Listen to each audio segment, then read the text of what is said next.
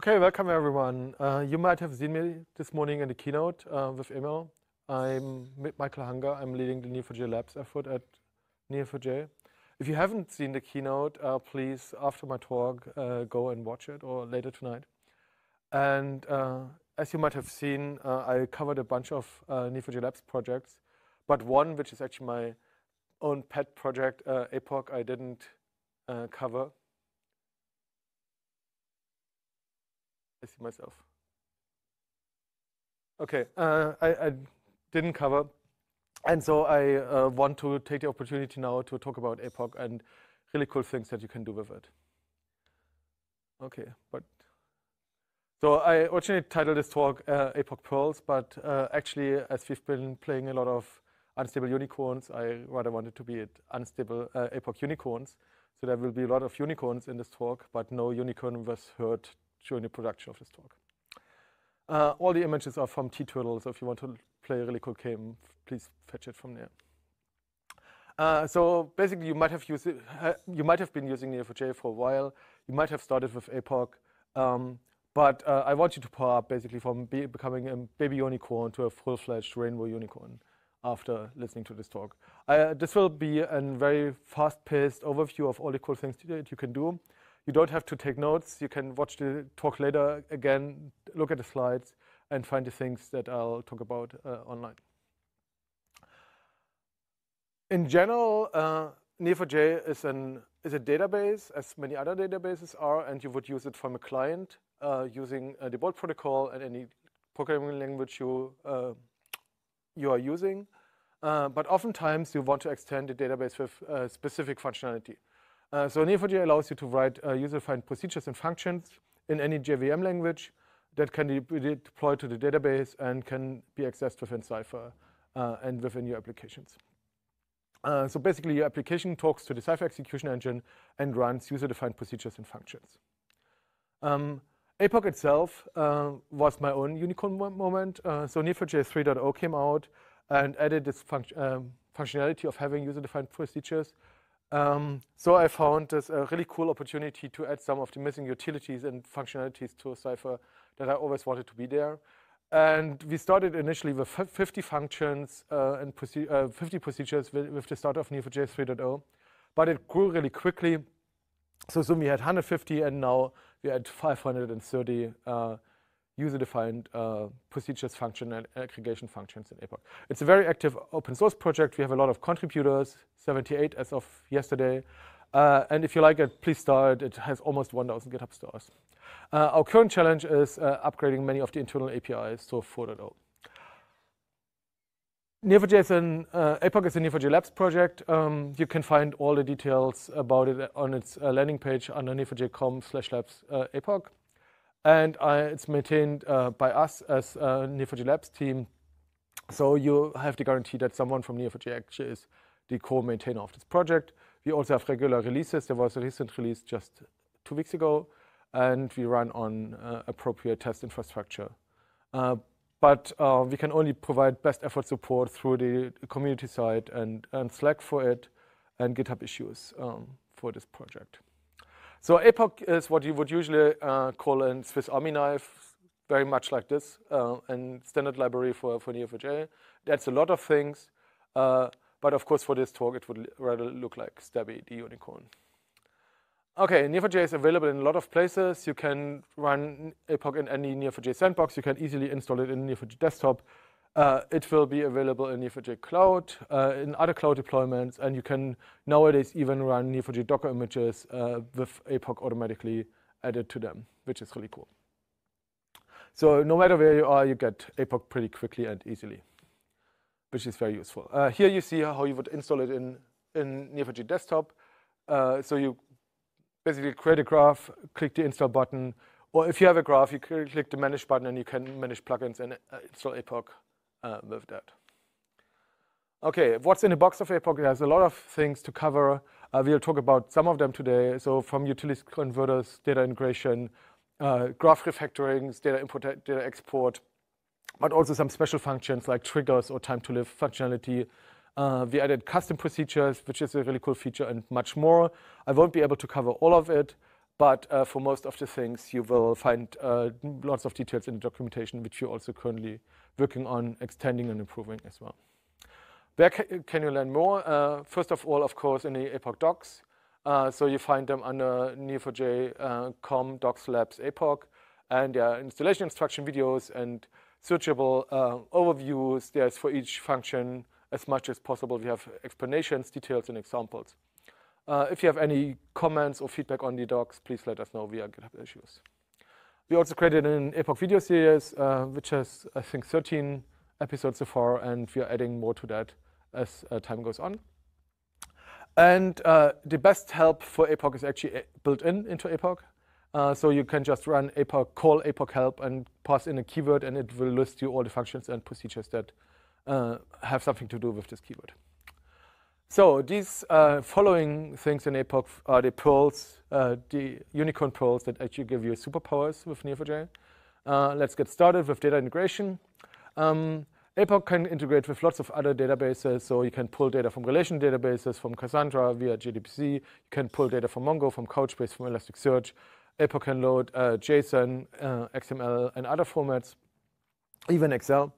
And uh, it can read uh, also Cypher and GraphML formats. Many of these can also be exported uh, as well, so it's oftentimes in bidirectional connection. Uh, something uh, else that APOC also has built in is access of additional URLs. Uh, so for instance, you can pull data from HDFS URLs S3 URLs, or uh, in the last release, we added support for Google storage buckets as well. So here's an example for loading data from a JSON URL. Uh, so uh, we can just consume any web API because there's also the option to pass additional header parameters or uh, use post instead of get. And it streams the JSON, so even if you have large, large JSON files, it, those will be streamed through.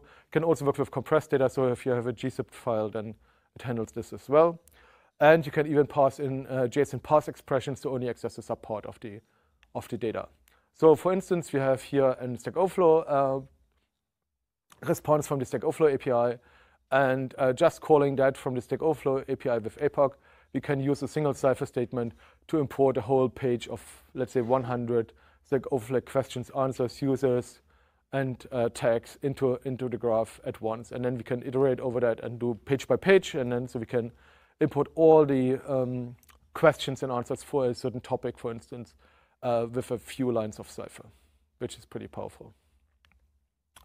Um, and recent function that we added is APOC graph from document, which uh, allows us to uh, take a nested document that could come from a document database or from a complex JSON file and automatically map it into a graph. So we take the nested structure, turn documents and subdocuments into nodes, uh, em embeddings or uh, containments into relationships, and can handle automatically IDs and, and labels for that. There's a lot of configuration options for APOC Graph from document. And the nice thing, it can create either a virtual graph that's only rendered to your display, or it can create a real graph in your database. So that's also really nice for integrations. Another topic where APOC is quite frequently used. Most recently, I talked to someone who updated like a billion nodes with, with APOC in one, in one go is huge transactions. As Neo4j is a transactional database, um, it has to keep intermediate state in memory. And if you have two large transactions and you don't have enough memory, then that might kind of get you to a certain limit. So APOC can work around this with APOC periodic iterate, which has uh, two parts. One driving statement, which provides you data that is operated on in batches. And the second statement is the action statement, which actually does the operation. And so you can provide uh, uh, parallelism and batch sizes. And the second statement is actually batched together um, for each uh, xk of, of elements from the first statement, and we use unwind. We automatically prefix the second statement with unwind to execute it. So you can um, don't execute, let's say, a million or a billion uh, action statement, or, but only like uh, a very small um, amount because you kind of divide this by the batch size. So for instance, if you have a, a million elements and you have batch size 10,000, you only execute 100 statements. And many operations can also run in parallel on Neo4j, so you can create lots of data or update lots of data really quickly. Uh, so this is an, a graph refactoring example. Next example is a loading example where you use as driving statement actually a data loader, which could be something like load CSV or an, another APOC call, which provides you the data, and then the second statement ingests that in batches into Neo4j. Okay, let's look at some uh, utilities. Uh, so APOC contains a lot of text functions from looking for characters, splitting, regular expression, formatting, capitalization, and lots of other things, uh, even URL uh, encoding and uh, digest encoding is uh, part of that. And we're adding more, more to that as well. So it makes it easier to not have to do round trips to the client to, for just to do simple functions. the same is true for collection functions. So we can add a lot of uh, additional uh, value there. So by, for instance, by allowing you to partition a collection or get the min or max of a collection, uh, finding um, this, uh, having set operations on co uh, collections and updating collections as well in, as part of your Cypher statement. Uh, my personal favorite are map functions. So you can create maps with APOC from any kind of data structure, from, from two lists, from lists of pairs. You can merge maps together. You can clean maps, which is really cool for data imports where you can say, okay, I want to skip these keys and these values, completely remove them from this map, and then only the result map would be, for instance, set as nodes, uh, as properties on a node relationship. And APOC map group by is very powerful if you have a, a larger data set in a list and you want to group it by a property or another key, and then you get either a single map or multi-map from that, which then could be, for instance, look, used as a lookup cache. Um, we have also quite a number of JSON conversion functions, so you can turn JSON data into strings and strings into JSON data. And you can also render, for instance, uh, a list of paths that you get back from Cypher into a nested tree structure as JSON as well. Okay, next in line is graph refactoring. Uh, oftentimes, uh, if you have a certain graph and a new requirement comes along, you want to modify your graph, change the structure, uh, introduce new nodes or relationships.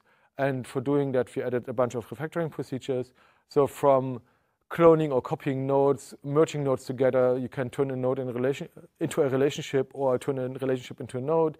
Uh, you can uh, collapse nodes uh, either for real or virtually, which is really nice for graph visualizations of graph algo results. And you can even do modifications like pointing, uh, inversing relationships or giving them a new type and, and things like that. Uh, here's an example for merge nodes. So imagine you had an import and something went wrong and you suddenly have nodes with duplicate keys. So here we have Jim uh, who's friend with Emil and friend with me. So like you heard this morning in the keynote. And uh, if you want to merge these two Jim nodes together into one, then you just call, um, or all the nodes with duplicate email addresses together, you just call um, uh, APOC um, refactor merge nodes on a collection of nodes that have more than uh, one entry, and then you get all the merged nodes back, uh, and your graph is cleaner than it was before. The next thing that's commonly requested in Cypher is dynamic labels and relationship types. So uh, APOC brings a lot of functions and procedures along that allow you to modify uh, or dynamically create or modify nodes and relationships by adding uh, both um, labels as well as relationship types from expressions so which allows you to uh, easily have uh, complex data imports as well. The other thing that's really cool is triggers. Uh, you know, many other databases have triggers, and I thought it could be really cool to have this in Neo4j as well. So we integrate with the Neo4j's uh, transaction event handler infrastructure, and uh, with APOC you can provide a Cypher statement that is executed as data is uh, created in Neo4j in the commit hook, and when data is committed, you can run a Cypher statement that then, for instance, adds additional properties, for instance, like who was the creator of this data, what's the update timestamp, or you use that to pass out data to um, a secondary consumer, for instance. And it offers you a bunch of um, additional parameters with the updated data uh, that's passed into your Cypher statement.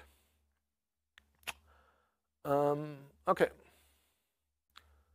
And now my remote hangs for whatever reason. Thank you, Ryan. Um, uh, the next one is time to live. Uh, so time to live allows you to have uh, nodes and relationships that are only uh, temporary available. So for instance, if you have data that only lives for a few minutes or hours or days, uh, then you can um, mark those nodes for the, um, oh, now it works again. then you can mark these nodes with a certain label, TTL, and then you can tell, tell APOC, okay, I want to expire this node in a, in a certain time frame, and it will use an index on, on that uh, TTL property to regularly run a back, background process to expire these nodes and get rid of them. So here's uh, the basically the, the query that's run. It uses the index for looking up the for looking looking up the node with this uh, with these properties where the time spent has expired and then kind of batch deletes them from the database. Um, something else that got added in Neo4j 3.2 was aggregation functions, uh, which is quite interesting because all the other procedures and functions uh, in Neo4j are stateless, but aggregation functions need to accumulate state because they are aggregating over state. Uh, so their implementation is a little bit more complex than uh, the other ones. And aggregation functions allow us to have um, more uh, complex operations on uh, larger amounts of data. So I, we added some uh, things where you don't have to collect a lot of stuff into a collection and then only take the first element or last element. So you can take the first or nth or slices or last ele element. Uh, we uh, allow you to do mass statistics over an over an um, data set and others as well. Uh, one good example uh, for a custom function is graph grouping. Uh, so one of my colleagues, Martin Junghans, uh, wrote a really nice paper about using a grouping function over a graph to create a virtual graph that kind of aggregates a higher level uh, projection of your data. So for instance, here's an example where I just take um, people and I want to group them by their age, so by the decade that they were born in.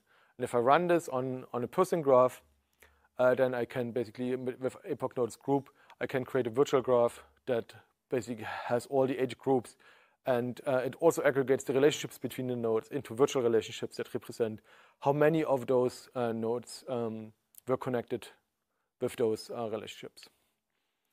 And uh, another good example of the power of APOC and, and uh, Neo4j user-defined procedures is Cypher procedures, which allow you to uh, define custom procedures by uh, having just a procedure name, some parameters and result types, and a Cypher statement. And this Cypher statement becomes kind of a named statement where you then later on can just uh, call the name of the statement. You don't have to call some other procedure and pass any parameters that you want to have. And then you have either a function or a procedure with uh, just defined in Cypher. So you don't have to redeploy something in the server or update uh, your, your procedure jar or something like that. You can have just complex Cypher statement being exposed or declared as under a certain name, and then their, um, their arguments and uh, result types are defined as part of this declaration. And this is an area where we want to extend this to go beyond Cypher so that you can also have other dynamic programming languages being the implementation of these functions and procedures. Okay, and uh, so we're getting uh, closer to the end. Um, so if you are using APOC and if you have suggestions or if you have run into an issue uh, or if you have something that you built yourself and want to contribute, we are more than happy to take any contributions in APOC. So please raise an issue, send us a pull request, and we're happy to uh, engage with everyone who wants to contribute to this library and wants to make it more powerful and more usable. Uh, there are some other efforts underway, uh, so we want to make APOC more usable in the future. So uh, we're considering, for instance, building a graph app that wraps APOC uh, into a, something that's, especially for beginners, more easily explorable and, and usable. Okay, um, where can you find help for APOC? So for once uh, in the Neo4j community side, so if you go to community.neo4j.com, there's a dedicated subcategory for APOC where you can ask questions and also on Neo4j Slack if you just have a really quick question. But usually you should go to the community side. Um, APOC is, as I said, an active project, and uh, this is a screenshot from yesterday. So you see that we are almost at 1,000 stars. So if you want to help us uh, become uh, more popular, then start a project. But otherwise, please support uh, support us by providing issues and and pull requests here. Um, so, and that's these were all the, the things that I covered. Um, but of course, there's much more in APOC. So I only kind of scratched the surface in this in this talk. So if you want to see more, just look at the docs, um, look at the videos that we provided, and uh, or ask us when you have certain certain questions. Okay, and with that, I want to get to the uh, question Q&A section, and I'll put up the Hunger Games question, which is probably meta because it's my Hunger Games. Uh, so the questions are how many APOC procedures and functions are there? Um, what does APOC stand for? And what is the name of the procedure that, to load JSON data from a REST API with a lot of additional options? So you have to uh, figure that out. So you have a few minutes to do that, and I would answer questions if there are any questions. Ryan, can you help me? Yeah? No? No questions? So I will leave it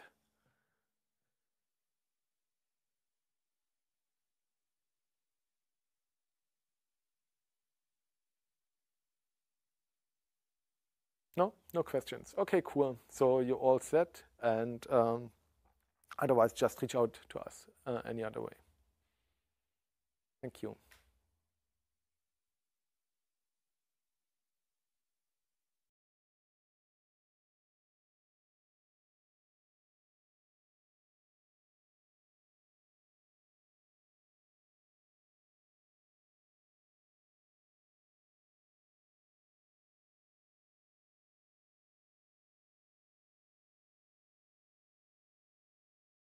Okay. Good. Okay, Ryan, can you help me with the questions? For the APOC procedures, the APOC procedures already test their functionality, or do we already know they will work sufficiently? So the question was, uh, do we need to retest uh, APOC functionality in 4.0? Uh, um, which is already used, uh, being used in 3.x. So 4.0 is a pretty significant uh, release with a lot of internal changes. So currently we're updating APOC to, from 3.x to 4.0. Uh, but it's a lot of effort, and we do our best to, of course, not introduce any bugs there, but we can't be sure. So I definitely would recommend, if you have tests, to rerun the tests on 4.0 uh, before you put it into production.